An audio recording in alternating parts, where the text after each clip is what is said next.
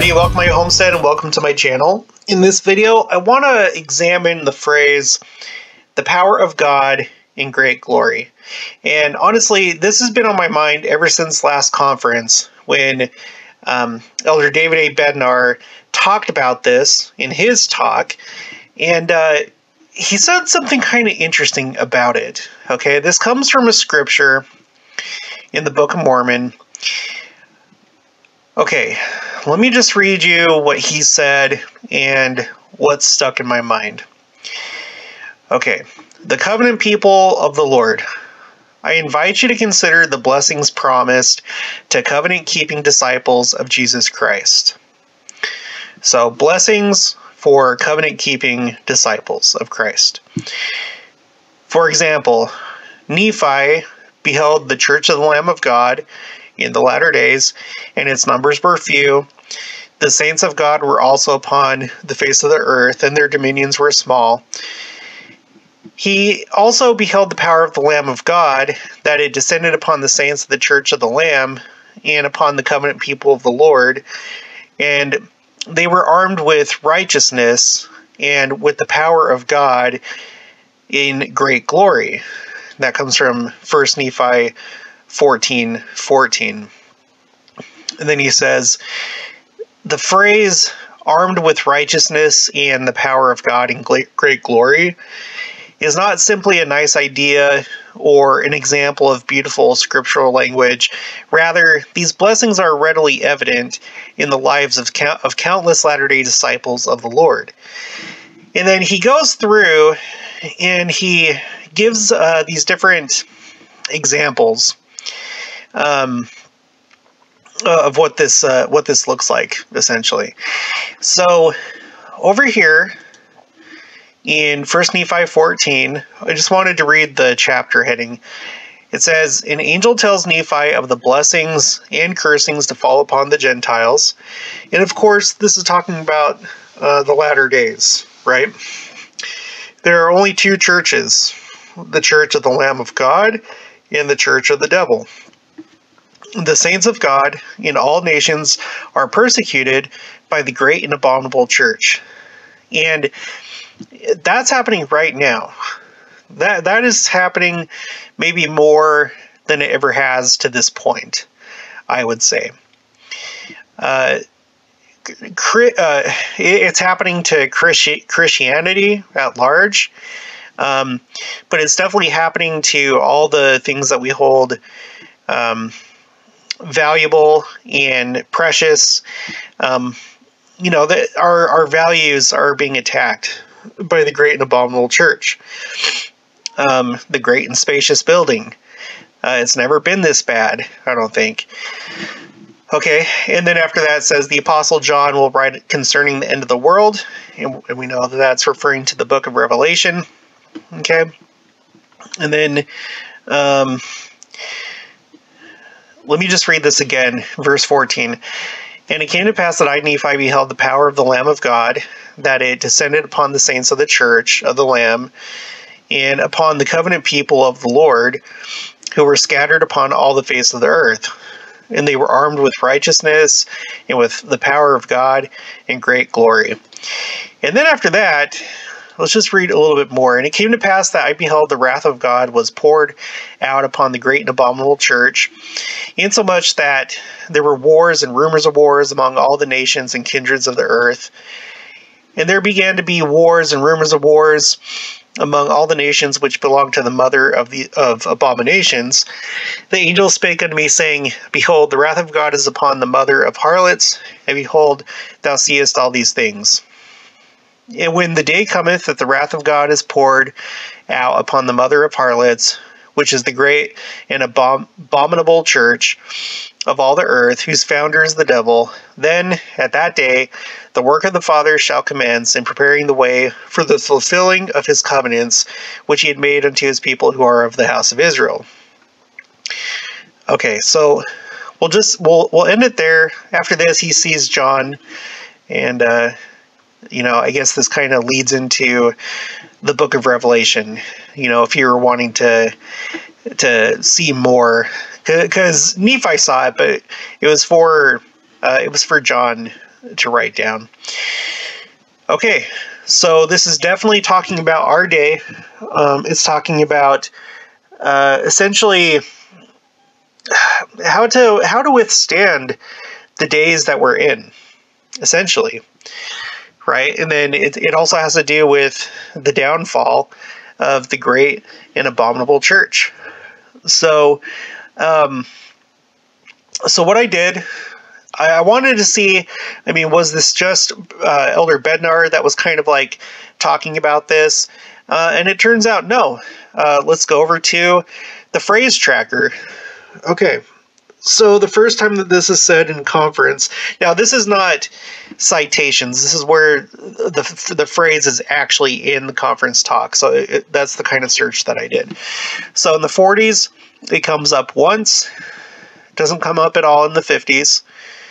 In the 60s, one time. In the 70s, one time. In the 80s, two times. In the 90s, one time in the 2000s uh, three times. So that that's a record right there. Uh, and then let's let's move on. In the 2010s, okay, now this is coming up a lot more.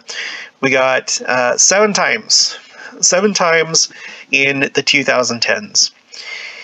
And then in the 20s, uh, it's already happened three times.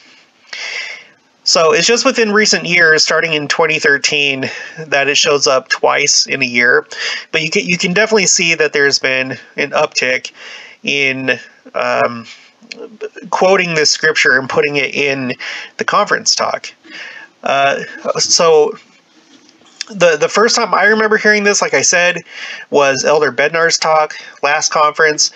But it looks like D. Todd Christofferson has also said it. Um, uh, President Nelson himself, he said it. Elder Gong, um, Elder Cook, and he said it in a talk called Prepare to Meet God. So that's interesting. Um, Henry B. Eyring uh, in 2016.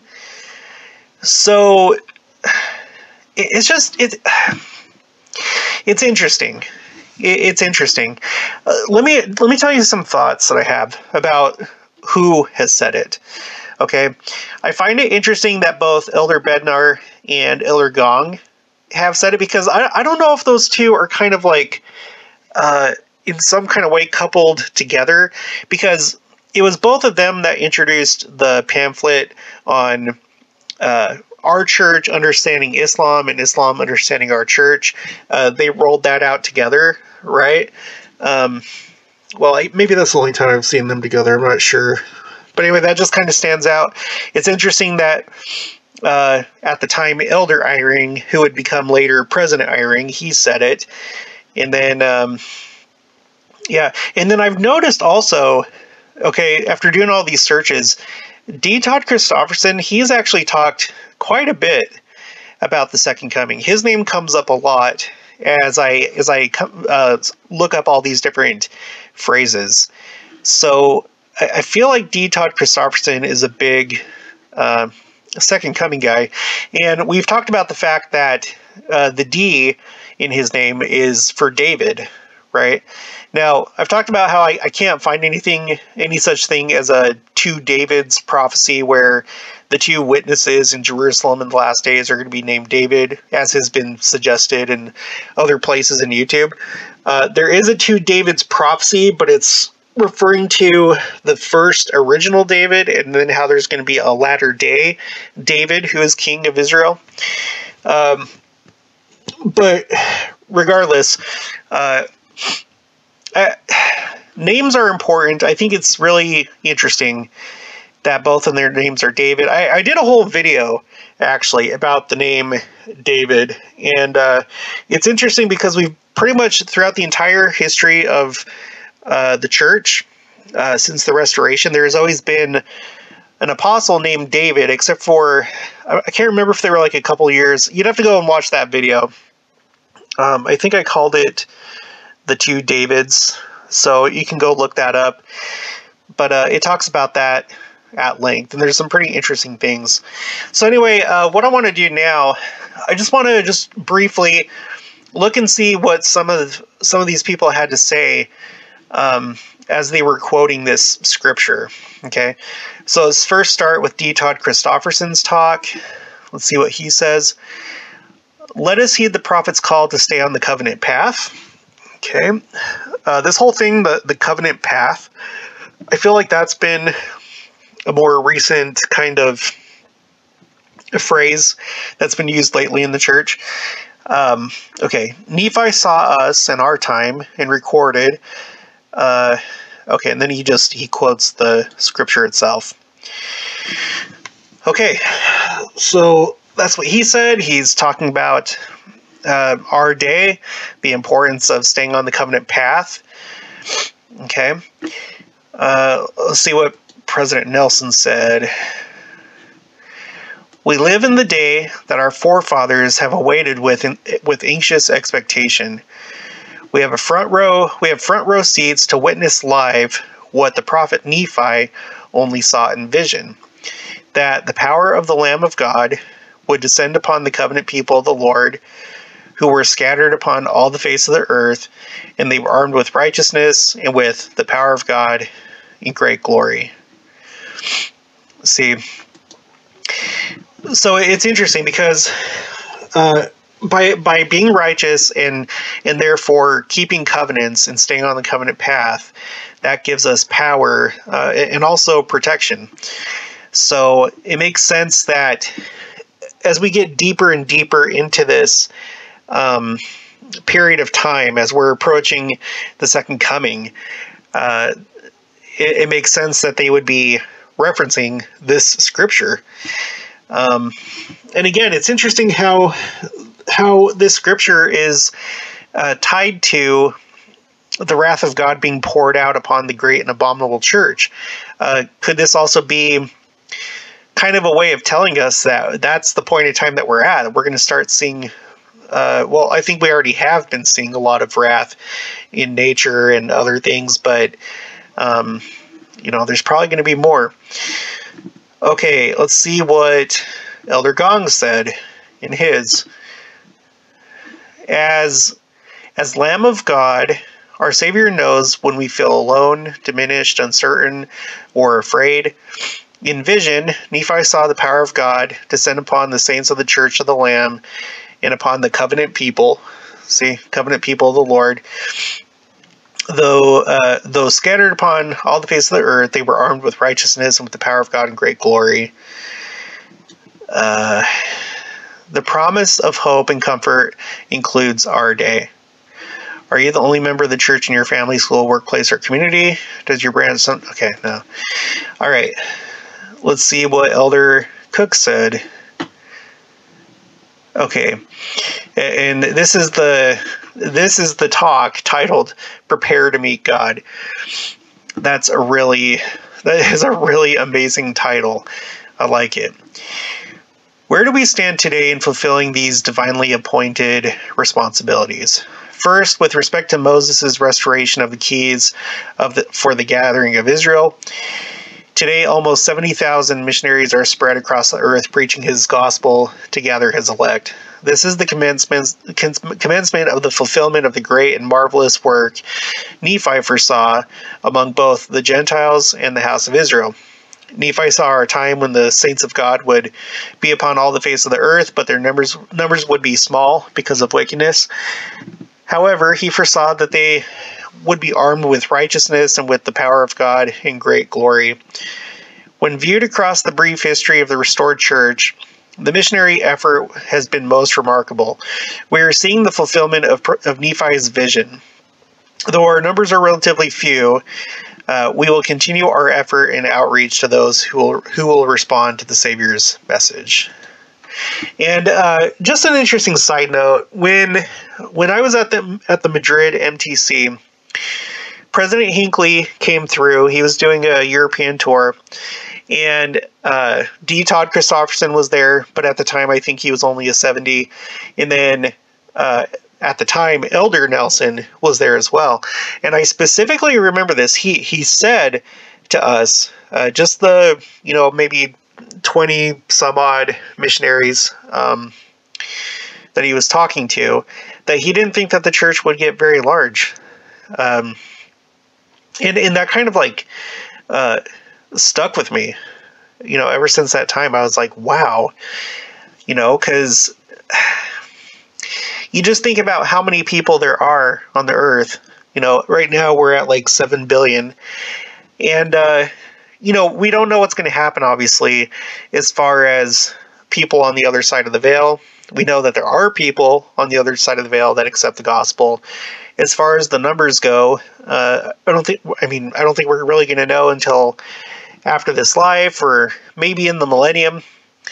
It's going to be interesting when when everything is said and done, how many will have um, entered onto the you know, entered through the gate and onto the covenant path uh, and achieved exaltation after this life. I'm, I'm going to be really interested to see how that goes. I know it's been said that this earth is like an especially wicked um, world because we, we crucified the Savior. Um, and there there's other worlds that would not have done that. I, I just I'm very curious. I'm a curious person. I'd like to see the breakdown us compared to other worlds, and just like how many end up uh, among all of God's creations. Are, like are all worlds kind of the same as far as like the the numbers go, or is our world like just really really really bad, and um, that's why we see so few that are righteous. I it's just the thoughts that I have. Uh, put your thoughts down in the comments below. Um, okay, and, and then lastly, let's take a look and see what um, President Eyring said, said back when he was Elder Eyring. Um, what I could okay, what I could not see clearly then was that the Lord was pouring out His Spirit on people in those little sacrament meetings. I could, I could feel it, but I could not see the extent and the timing of the Lord's intentions to build and glorify his kingdom. A prophet by revelation saw and recorded what we can now see ourselves. Nephi said that our total numbers would not be great, but that the cumulative, cumulative light uh, would be a sight to see. And then he reads the scripture and then after that, he says, In this dispensation, a similar prophetic description of our condition and the opportunities ahead is recorded in the Doctrine and Covenants. Okay, let's see what that says. Ye, ha- ye have not as yet understood how great blessings the Father hath in his own hands and prepared for you and ye cannot bear all things now. Nevertheless, be of good good cheer, for I will lead you along. The kingdom is yours, and the blessing thereof are yours, and the riches of eternity are yours. And he who hath re- who receiveth all things with thankfulness shall be made glorious, and the things of this earth shall be added unto him, even a, an hundredfold, yea, more. Okay. That's that's interesting. That is interesting. Okay, well, so that's that. Okay, I think it's interesting. I'm gonna I'm gonna be interested to see if this scripture and um, you know if if it's referenced more in future general conference talks and if it's put into future general conference talks. So um, I think that this is a this is a key concept right now for us, and I feel like this tracker kind of, um, you know, highlights that fact. You look at these past decades, it just it doesn't really come up. It doesn't really come up, but look at the last few years. I think now is the time that that scripture really really applies to. Of course you know it applies to the probably to the whole dispensation but but in reality in reality um, i feel like now really is the time when it's happening. We're, we're definitely seeing a lot of wrath of god. We're seeing it in volcanoes earthquakes hurricanes floods uh, did i say tornadoes already? Um, we're seeing crazy space weather. We're seeing wars. Uh, You know, we, we have the coronavirus, and, you know, even though it's not. Okay, I'm not going to get into it. Like, there's always going to be comments like, it's not that bad, but, well, it, it's killed people. It, it has, in fact, killed people. And, um, and, it, and it's definitely impacted the way the world works. You know, it, there hasn't been really an event like this before. So, uh, we're, we're just seeing all sorts of really crazy things. And, um, yeah, we, we need to be right now armed with righteousness and with the power of God in, in great glory. And, uh, and prepared to meet God. I think I really think that's what we need to do. Uh, I think that time is getting really, really close. Okay, so that's it for this one. Uh, again, let me know what your thoughts are in the comments below. If you haven't already, please make sure to subscribe, like this video if you liked it, uh, make sure to share it, and I'll talk to you guys later.